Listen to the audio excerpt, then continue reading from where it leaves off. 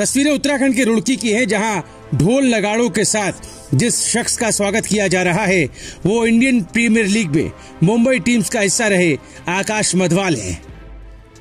आकाश जब आईपीएल में अपना जलवा बिखेर कर घर पहुँचे तो उनका स्वागत कुछ इस तरह से किया गया। आकाश के साथ उनके कोच अवतार सिंह भी मौके पर मौजूद थे।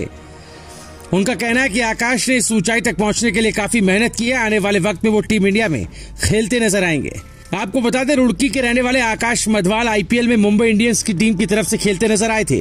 इस दौरान लखनऊ सुपर जायंट्स के खिलाफ तीन दशमलव तीन ओवर में पाँच रन देकर उन्होंने पाँच विकेट झटके थे और आईपीएल के इतिहास में सबसे बेहतरीन गेंदबाजी का प्रदर्शन करने वाले अनिल कुंबले के रिकॉर्ड की बराबरी कर लिए। सोमवार देर शाम क्रिकेटर आकाश मधवाल जब रुड़की के ढंडेरा पहुँचे तो वहाँ पर इलाके के लोगों ने फूल मालाएँ पहनाकर उनका भव्य स्वागत किया।